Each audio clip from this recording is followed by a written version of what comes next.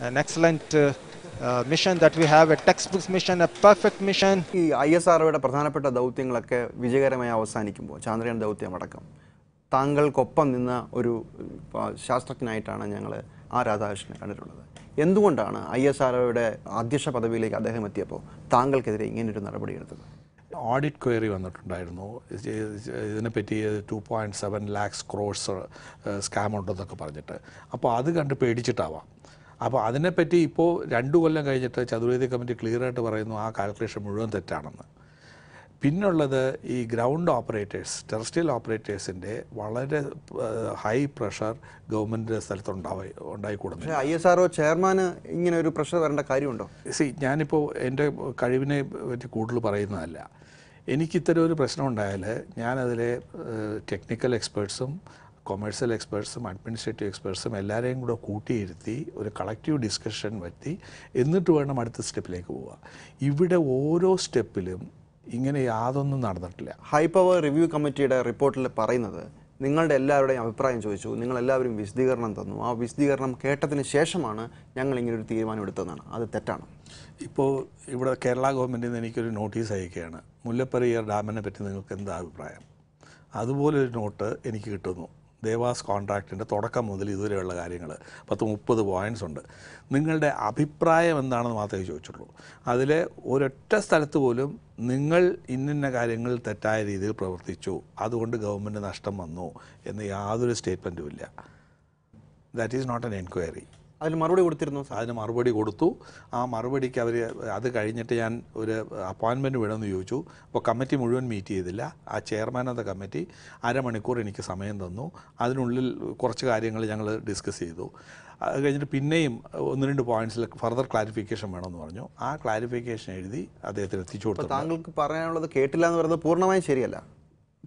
അതിൽ നല്ല വ്യത്യാസമുണ്ട്. അഭിപ്രായം പറയുന്ന ഒന്ന് എന്നിട്ട് ഞാൻ പ്രത്യേകിച്ച് പറഞ്ഞു എന്റെ മെമ്മറിയിൽ നിന്നാണ് ഞാൻ ഈ കാര്യങ്ങൾ പറയുന്നത്. നിങ്ങൾ കൃത്യമായിട്ടുള്ള വിവരമുണ്ടെങ്കിൽ നിങ്ങൾ എനിക്ക് ഫയൽ തരണം. ഒരു പതിനാല് ഫയൽസ് ഞാൻ ചോദിച്ചിട്ടുണ്ട്. ആ ഫയൽസ് കഴി കിട്ടിക്കഴിഞ്ഞാൽ നിങ്ങൾ എന്താ എന്തിനെ പറ്റാണ് എന്റെ പേരിൽ അലിഗേഷൻ ഉണ്ടാക്കുന്നത് പറഞ്ഞു കഴിഞ്ഞാൽ ചെയ്യാന്നുള്ളത്. അപ്പോൾ ഇതൊക്കെ പറഞ്ഞില്ലേ ആരോ മനഃപൂർവം അങ്ങനെയാണെങ്കിൽ എന്തുകൊണ്ടാണ് നൂറ്റി നാൽപ്പത്തേഴ് കോടിയുടെ രണ്ടാമത്തെ സാറ്റലൈറ്റിന്റെ ചിലവ് എഴുതിയപ്പോൾ അതിനകത്ത് ഇൻഷുറൻസ് തുകയോ ലോഞ്ചിനുള്ള തുകയോ വെക്കാതിരുന്നത്? ഇൻഷുറൻസ് എല്ലാം കവർ ചെയ്യേണ്ടത് ആൻഡ്രിക്സ് ആണ്. ആൻഡ്രിക്സിന്റെ ബിസിനസ് റിസ്ക് ആണ്. അവർ ലോഞ്ച് ചെയ്ത് കഴിഞ്ഞ് വല്ലതും ഫെയിൽ ചെയ്ത് കഴിഞ്ഞാൽ ആ ഇൻഷുറൻസ് അവന്റെ അവർ കൊടുക്കണം. അവരുടെ ചിലവിൽ എഴുതി തെളിവുള്ളൂ. സർക്കാരിന്റെ തന്നെ ഒരു ഭാഗമല്ല? ആൻഡ് അതൊരു ഇൻഡിപെൻഡന്റ് കമ്പനിയാണ് കമ്പനിയുടെ അക്കൗണ്ട് സെപ്പറേറ്റ് ആണ്. കമ്പനിയാണത് അതെ അതിന്റെ profit and loss company rules അനുസരിച്ച് നോക്കുകയുള്ളൂ അത് ക്യാബിനറ്റിൽ പോകേണ്ട കാര്യമില്ല. ഇവിടെ ഭാരത് പെട്രോളിയം ലോഞ്ചിന്റെ ചെലവ്? ലോഞ്ചിന്റെ ചിലവ് ഈ കോസ്റ്റിങ്ങിൽ ഇൻക്ലൂഡ് ചെയ്തിട്ടുണ്ട്. ഇല്ല എന്നാണ് റോദം നരസിംഹ അംഗമായ കമ്മിറ്റി പറയുന്നത്. അത് ശരിയല്ല. അത് ശരിയല്ല. അത് ശരിയല്ല. അതായത് ഈ എഴുന്നൂറ് കോടി ഈ നൂറ്റി എൺപത് കോടിയോളം ആദ്യത്തെ സാറ്റലൈറ്റിന് നൂറ്റി നാൽപ്പത്തേഴ് കോടി രണ്ടാമത്തെ സാറ്റലൈറ്റിന് പിന്നെ രണ്ട് ലോഞ്ചിങ്ങിന് നൂറ്റി എഴുപത്തഞ്ച് കോടി വീതം. അങ്ങനെയാണ് എഴുന്നൂറ് കോടി വരുന്നത്. രണ്ടായിരത്തി അഞ്ചിൽ ദേവാസമായി കരാർ ഒപ്പിടുമ്പോൾ ഈ പറയുന്ന സാങ്കേതിക വിദ്യ ജി എസ് എൽ വി ലോഞ്ചിൽ എത്തിക്കാനുള്ള സാങ്കേതിക വിദ്യ പൂർണമായും നമ്മുടെ കയ്യിലായിട്ടില്ല. എന്തെങ്കിലും രീതിയിൽ കുഴപ്പങ്ങൾ സംഭവിച്ചിരുന്നെങ്കിൽ നമ്മളൊരു നഷ്ടപരിഹാര തുകയ്ക്കുള്ള ക്ലോസ് വെച്ചത് മണ്ടത്തരമായി പോവില്ലായിരുന്നു? നമ്മൾക്കിപ്പോൾ ലോഞ്ച് ചെയ്യാൻ കഴിഞ്ഞില്ല എന്നുണ്ടെങ്കിൽ ഈ ലോഞ്ച് സർവീസ് ഒന്ന് പുറത്തുനിന്ന് ഹയർ ചെയ്യാം. അപ്പോൾ അതിന്റെ ചിലവ് ചിലപ്പോൾ കുറച്ച് കൂടിയെന്നിരിക്കും. അപ്പോൾ ആ കൊമേഴ്സ്യൽ റിസ്ക് ഞങ്ങൾ എടുത്തിട്ടുണ്ട്. സി നമുക്കിപ്പോൾ ഒരു P S L V G S L V launch ചെയ്യണമെങ്കിൽ നൂറ്റി എഴുപത്തഞ്ച് കോടി വേണം. നമ്മളിപ്പോൾ പുറത്തുനിന്ന് വാങ്ങിക്കുകയാണെങ്കിൽ ചിലപ്പോൾ ഇരുന്നൂറ് കോടി ചിലവായി വരും. ആ ഒരു ഇരുപത്തഞ്ച് കോടിയുടെ റിസ്ക് ഞാൻ എടുത്തിട്ടുണ്ട്. ആ റിസ്ക് വലിയൊരു ഒരു ഉദ്യമത്തിന് വേണ്ടിയുള്ള ഒരു ചെലവായി താങ്കൾ കരുതി.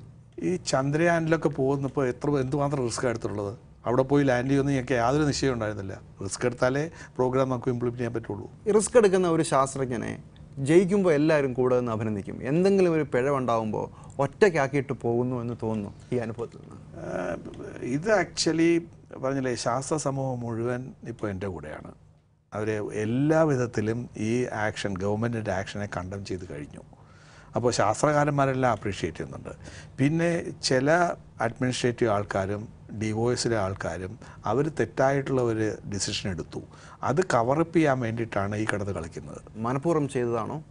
ഈ രാജ്യത്തിന് കിട്ടാവുന്ന ഏറ്റവും നല്ലൊരു ടെക്നോളജി നമ്മൾ വേസ്റ്റാക്കി കളഞ്ഞു. ഇതിന്റെ പിന്നിൽ ആരാണ്? ഈ ഗ്രൗണ്ട് ഓപ്പറേറ്റേഴ്സിന്റെ പ്രഷേഴ്സ് ഉണ്ടാവാം.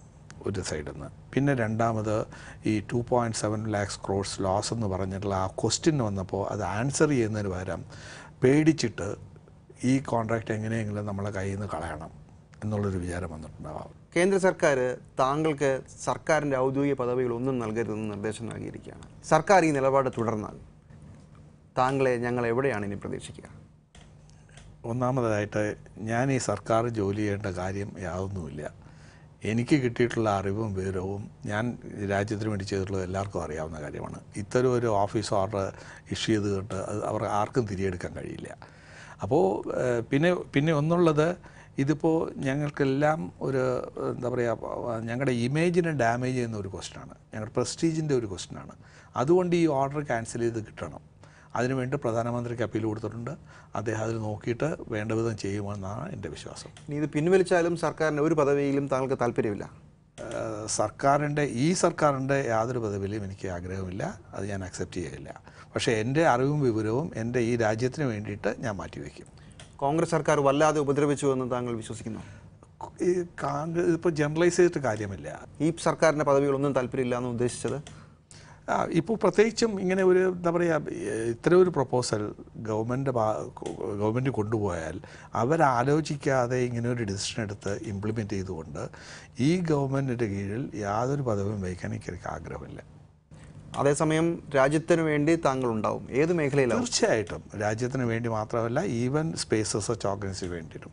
എന്റെ ഞാൻ നാൽപ്പത്തി അഞ്ച് കൊല്ലം അവിടെ ജീവിച്ചയാളാണ് ആ ഓർഗനൈസേഷൻ വളർത്തി വലുതാക്കി കൊണ്ടുവന്ന് ഞാൻ എനിക്ക് നല്ലൊരു പങ്കുണ്ട്. അപ്പോൾ ആ ഒരു ഓർഗനൈസേഷന് വേണ്ടി എനിക്ക് എന്റെ ജൈവം പോലും കളയാൻ തയ്യാറാണ്. താങ്കൾക്ക് എല്ലാ ഭാവങ്ങളും. Thank you thank you so much